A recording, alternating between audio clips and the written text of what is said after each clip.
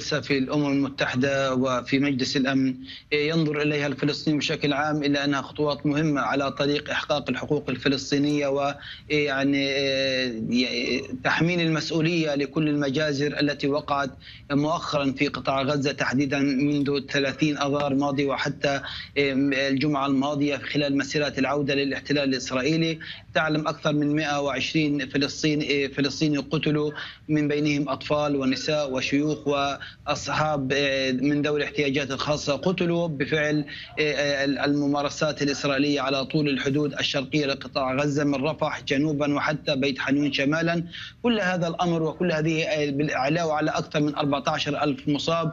الفلسطينيون والفصائل الفلسطينية يتأملون من مجلس الأمن ومن المجتمع الدولي أن يقفوا عند مسؤولياتهم وأن يكون هناك خطوة جادة وخطوة مهمة على طريق توفير الحماية الدولية للشعب الفلسطيني نعم. من أجل وقف هذا المسلسل الكبير من الجرائم أو من عمليات القتل التي ارتكبت بحق الشعب الفلسطيني في قطاع غزة نعم ابقوا مع